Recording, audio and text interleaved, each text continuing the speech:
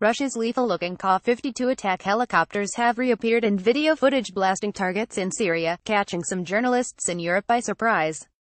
Even if Russia withdraws the agile attack helicopters, the type will remain active in the Middle East and Egyptian service. The lean, two-seat Ka-52 is visually distinguished by its pronounced nose, and is fittingly dubbed the alligator. The nimble, ultra-maneuverable Scout attack helicopter uses two three-bladed contra-rotating rotors for stability so that it can go without a ledge-inducing tail rotor, allowing the helicopter to soar at up to 196 miles per hour, nearly 20% faster than an Apache.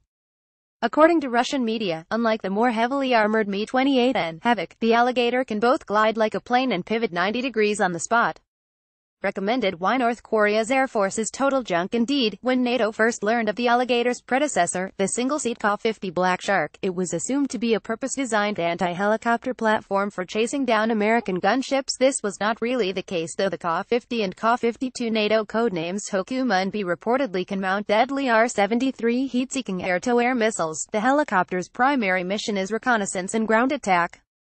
Recommended why docent America kill Kim Jong-un. 32 Ka-50s served as prototypes in the 1990s and 2000s, each configured differently from the previous model.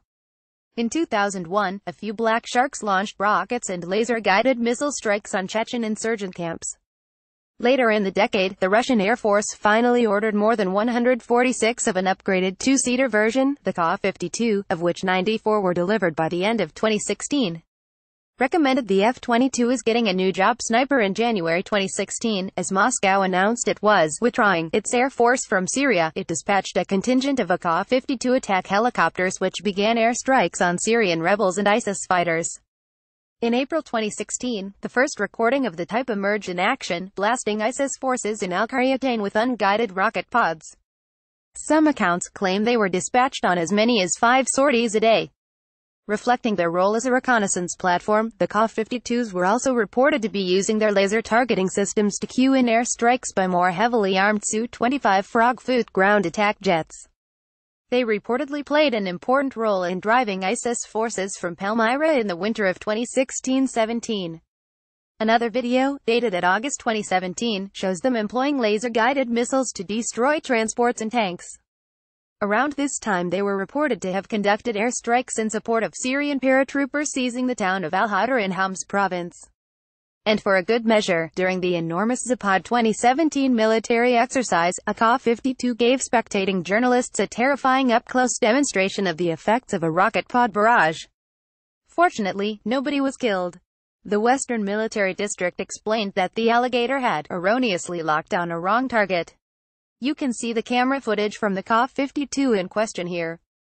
Unlike the heavily armored Mi-24 Hind helicopters, which are expected to wade in closer to the action, the Ka-52 is intended to pick off enemy armored vehicles from as far as 5 miles away using up to 12 laser-guided 9K-121 Decker Whirlwind anti-tank missiles, or KH-25 Mega air-to-ground missiles.